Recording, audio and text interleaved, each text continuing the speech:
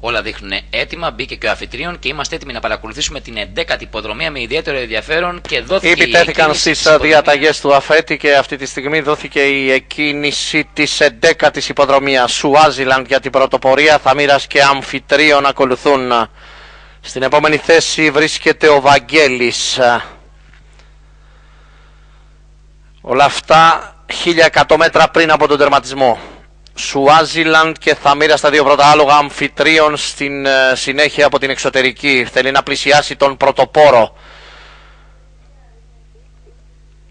Ο Θαμήρας έχει πάντα την εσωτερική και ακολουθεί στην τρίτη θέση. Έχει πλευρίσει τον Θαμήρα τώρα και ο Βαγγέλης ε, καταδιώκοντας τους πρωτοπόρους.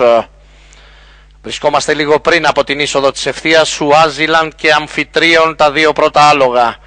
Στην συνέχεια Βαγγέλης και Θαμύρας. Λίγο πριν από την είσοδο της ευθείας τώρα βρισκόμαστε. Αμφιτρίων θέλει να κάνει την επίθεσή του από την εξωτερική στους στον πρωτοπόρο Σουάζιλαντ. Αμφιτρίων είναι αυτός που περνάει στα μέσα της ευθείας. Στην συνέχεια προσπαθεί ο Θαμύρας να κάνει την επίθεσή του και αυτός ενώ και ο Βαγγέλης θέλει να βελτιωθεί στα τελευταία μέτρα. Αμφιτρίων και Θαμύρας που προσπαθεί να ξεπεράσει τον Σουάζιλαντ. Να και ο Βαγγέλης δυνατά από την εξωτερική. Τη νίκη ο Αμφιτρίων και για τη δεύτερη θέση σκληρή μονομαχία που μάλλον ο Βαγγέλης στα τελευταία μέτρα παίρνει την δεύτερη θέση από τον Σουάζιλαντ.